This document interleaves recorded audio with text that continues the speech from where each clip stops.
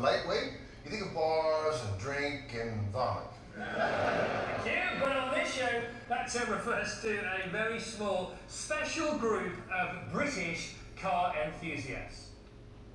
Hey guys, it's Ian at SS8000 Cars and today we're going in the GT4 on a journey. And the journey is down to Dunsfold Aerodrome and we're going to see Top Gear. So it should be fun. Um, obviously I met Matt LeBlanc the other week and uh, Matt suggested I come down and, and, meet the rest of the cast. So um, I'm thoroughly looking forward to that. I think I'm taking Paul. Um, Paul will be coming and um, he'll add to the uh, to the excitement, I would imagine. Um, no idea what to expect. I think the new show's terrific, and we'll see where we go from here. Obviously, it is a beautiful day, as you can probably see. Absolutely gorgeous. Anyway, we're going to get on our way, and um, I'm hoping. Uh, that the, the roads are good down there, they should be, and uh, definitely GT4 territory. Okay, catch up with you later literally about to leave. Um, just going to uh, listen to the exhaust. Love listening to the exhaust.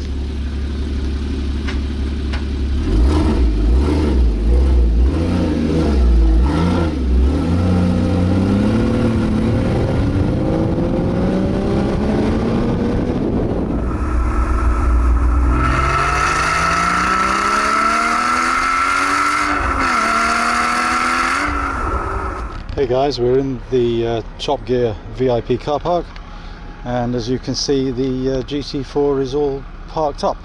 So now we're going to wander down to the uh, the area outside the uh, hangar where the, the filming takes place.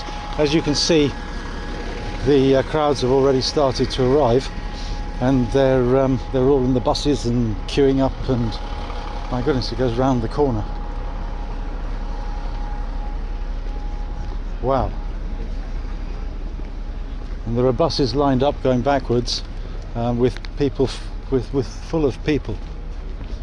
Incredible. All adds to the experience, I suppose.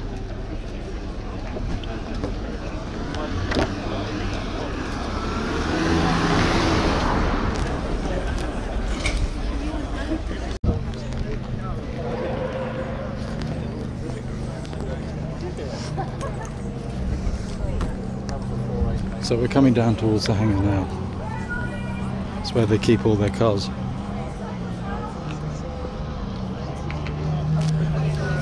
you later. I'll see you later. Okay, see you later.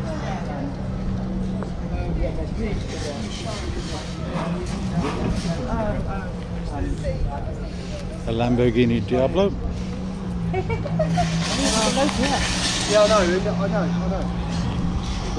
Looks like one of the new Honda NSXs.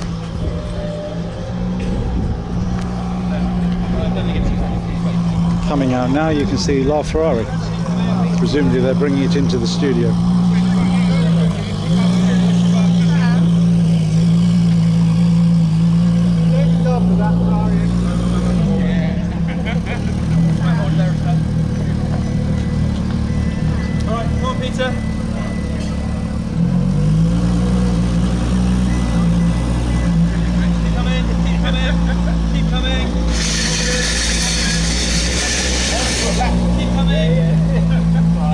Absolutely amazing car.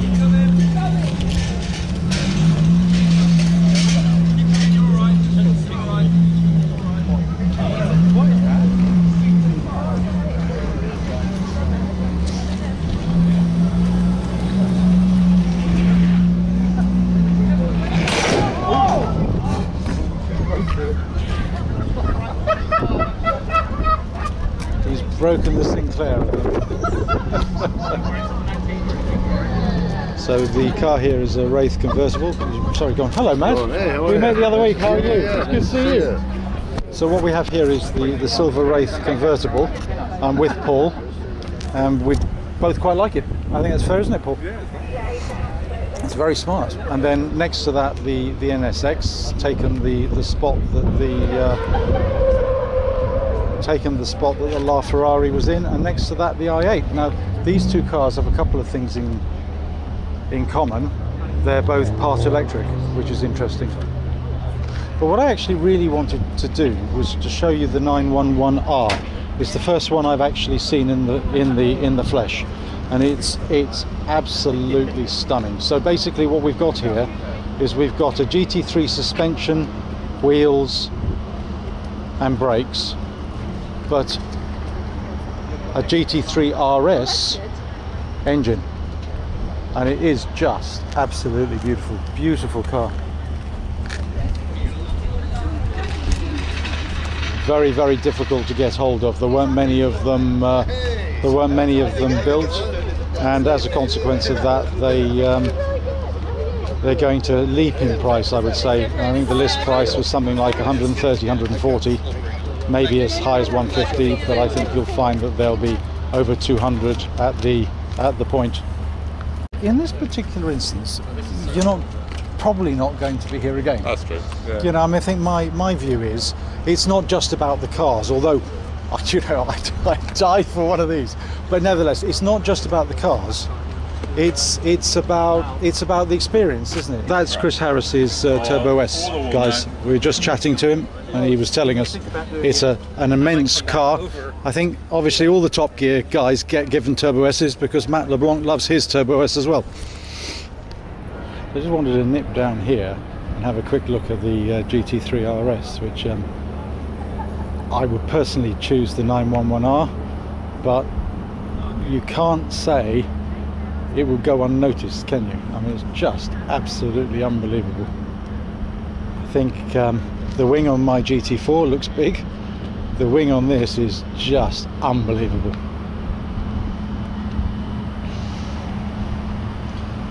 It looks very purposeful in the uh, the orange with the uh, the black wheels. I just think just such a fantastic looking machine.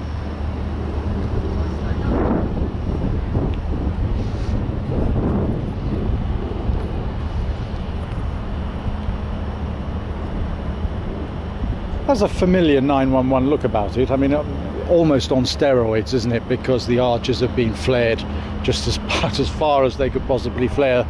You can see the wheels have been, the actual track has been widened both at the front and the rear. So the uh, the uh, tyres and wheels are right out, practically underneath the uh, the arches themselves.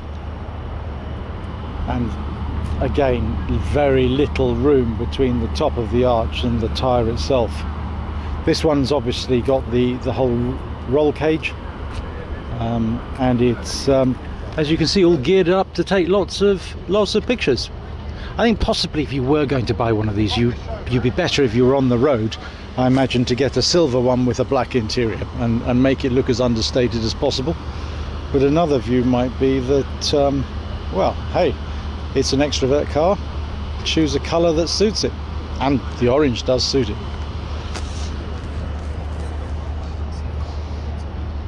Then perhaps its nemesis, the uh, the 911R.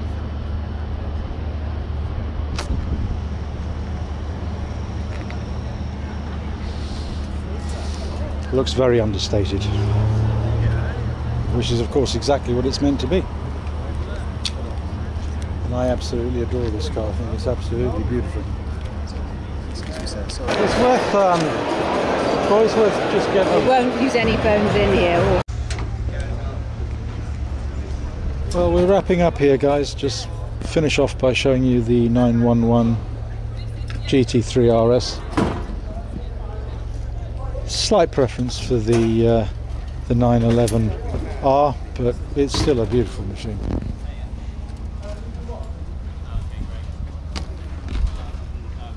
Been a great day.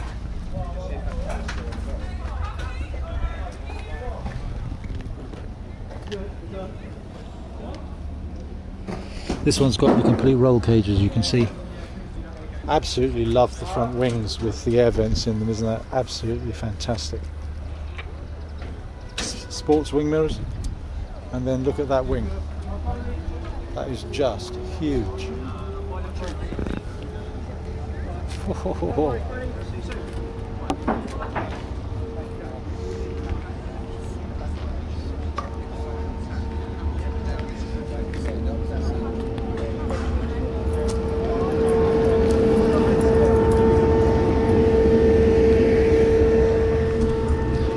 beautiful condition uh, Rolls-Royce Corniche unusual exhaust system on it.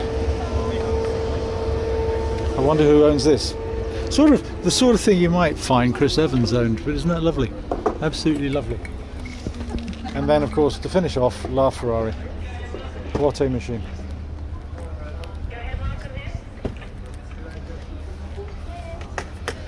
What a pair of cars these would make. You've got the uh, La Ferrari, one of the fastest cars in the world, and then the Rolls Royce Wraith convertible, one of the most beautifully, beautiful and comfortable cars in the world. I'm going to quickly show you inside um, both.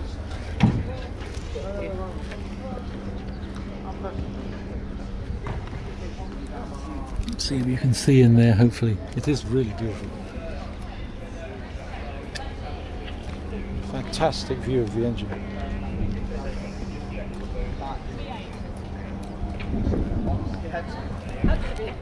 So hi guys, we're um, we're going to take the GT4 literally just down to meet up with Matt LeBlanc. Um, should be quite exciting. He's he's next door and he's filming, and um, with a bit of luck, um, he'll be interested to have a look. How do you like it? That's well, I haven't driven it, but here it's a fantastic. car. It's astonishing. I mean, I have I have a, um, a 458 Speciale, which really is a track car. So it's got the full racing harnesses and all the stuff sitting in the garage. I've Um, taken it on the track. I have taken that on the track. I just drove two weeks ago. I drove the new 488 on the track at Top Gear, Right. 180 miles an hour down with the top down. With cameras rolling in the car and delivering dialogue to